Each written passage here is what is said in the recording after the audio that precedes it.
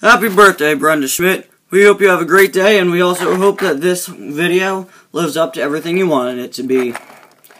If you got any cars for your birthday, let me know who you got in the comments. I recently picked up a Steve Karski and a Road Trip Sarge.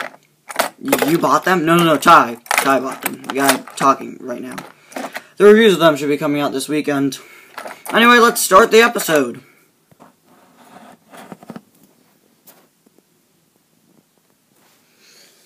So, uh, the tuners finally took up your offer to sleep in the cozy cone, huh? Yup, but there's just one problem. Wingo spoilers too high, DJ and Boost spoilers are too wide. Oh, too bad for them. Good night. What, what? Lightning, it's 7 in the morning! I know, I know, I know. I just didn't want to have to deal with this problem. Why not?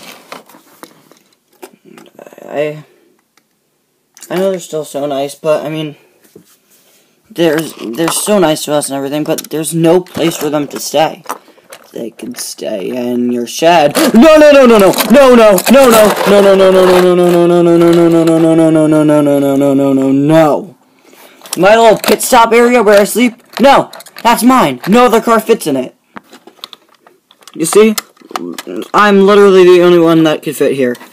Heck, two pitties couldn't even fit here comfortably.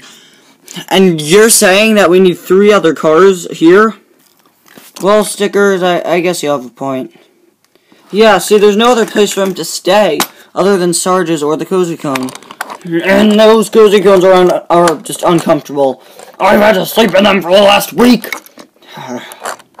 Wait, why are those three tuners in the Cozy Cone? Were, were you, wait, you very clearly overheard what we were saying because you commented on the cones. So how do you not know why they're there? No, no, I just came in at the end of the conversation. I just heard the end. Listen, okay? Mm, just um, answer why they're in there. Because they don't like being all cramped in your surplus hut. They like being all cramped in a one-car space.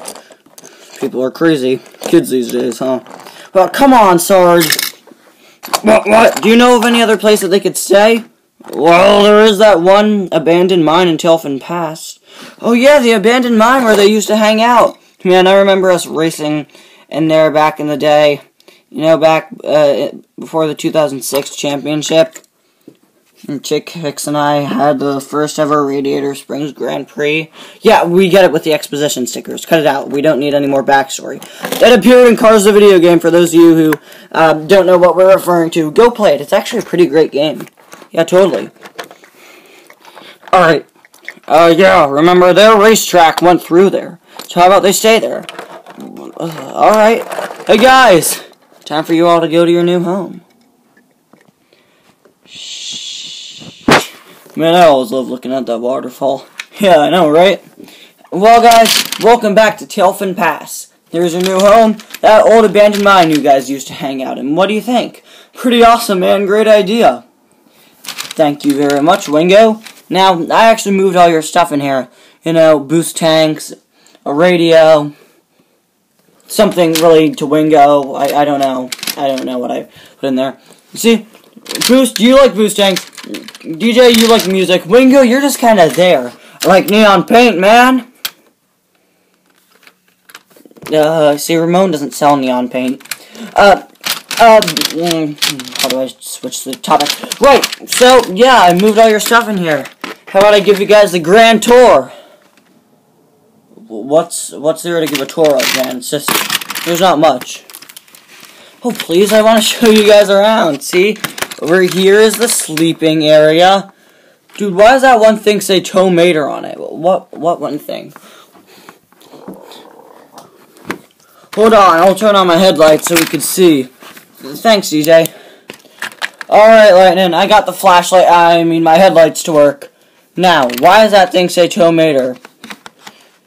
Uh, oh, yeah, that thing back there saying Tow Mater Towing Salvage. Right, you see, guys, there are bricks all over the place. See back on that back wall, there are windows and stuff.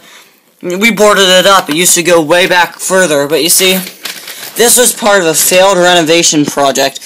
When we got Radiator Springs back on the map, we decided, hey, maybe, just maybe we could make this like a tourist attraction, or we could try to, like, I don't know, dig for gold or something. So yeah, that's why you'll see some bricks all over the place. I thought you just got lazy and ran out of normal Lego pieces. What? It's a fourth wall break, man. He doesn't understand. He doesn't speak our language. Yeah, but Fabulous does. You just get Fabulous. He understands fourth wall breaks. Over here are just containers, you know, some boost tanks and stuff. And over here, this rock, I know, looks a bit different than all the other ones. That's because this right here is actually not a rock at all. But instead, a secret little entryway.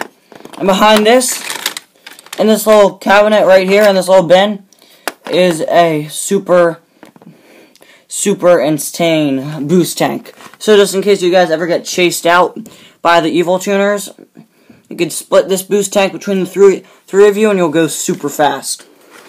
Sounds good, man. Yep, definitely. Let's get settled in, guys. New home. I mean, the floor is a bit bricky, brick-like. You know, that's what you get with Legos. What are you talking about, Legos? No, Broadside's in a Lego set for some reason. Yeah, and we're not. I pretend to understand what you guys are saying. Well, hope you guys enjoy. See you around. Yeah, see ya, man. See ya. Is there any chance you have beds? What? Yeah, man, we kind of need beds. Or else we're going to be sleeping on, like, these these bricks. I'll, I'll see if I get that arranged. See you later, guys. Beautiful Tailfin Pass, huh? Yeah, man, totally. Oh, man, well, sure it'll be nice to stay in this old place. Wingo, you okay back there? What? Yeah, yeah. Wait, Wingo's back there? Yeah, do you not see his massive spoiler? Dude, you probably need to get that thing removed. Like, get a smaller spoiler. Hey, don't judge you, man, and your three boost tanks or DJ and his built-in sound system. Here we go again. We go through this every single week. I was born with the sound system.